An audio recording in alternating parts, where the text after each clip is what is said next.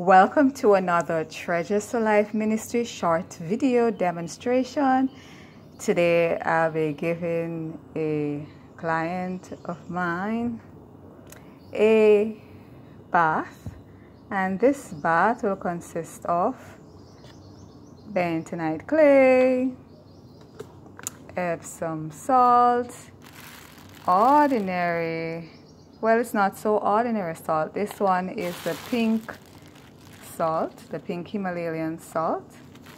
So these three will be combined and then I'll use this to wash your skin. It works as a detox to help with circulation, to replenish the skin, and to just assist the body in the healing process.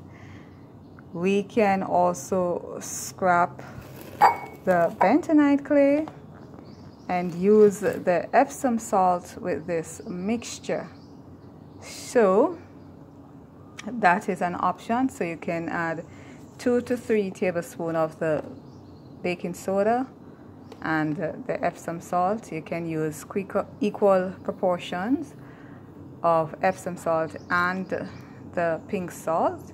If you don't have the pink salt you use the ordinary white salt. It works to give a little benefit.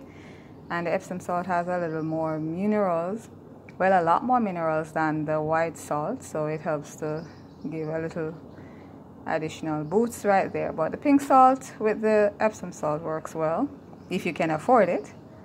And uh, there you have it. But I won't be using the baking soda. I will be using the bentonite clay.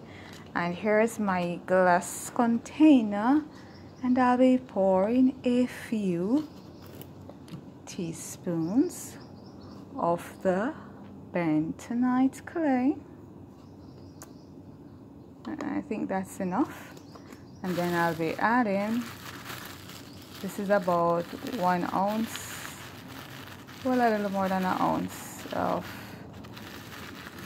the pink salt. So I'm going to be using one ounce of it. So I'm going to be pouring in pouring all that in about one ounce of the pink salt. And I'm going to be adding now the Epsom salt.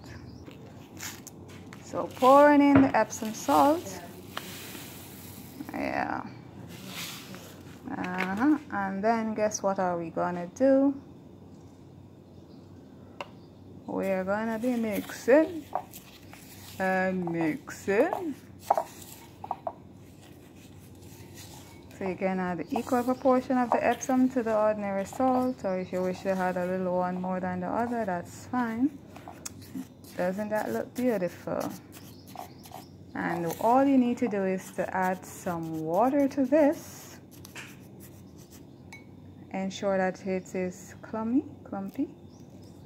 When you add the water, not too soggy because you need to have some amount of friction so I'm just going to wet it a little here to demonstrate. Yeah this is a one-man show at the moment.